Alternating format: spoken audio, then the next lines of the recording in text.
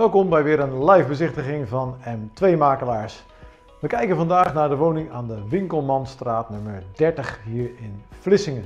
En vanuit de lucht is al te zien waar deze woning ligt, namelijk op een hele korte afstand van het centrum van Vlissingen. Een fantastisch leuke plek, want je loopt of fietst zo de stad in. Toch zit je in een lekker rustig straatje.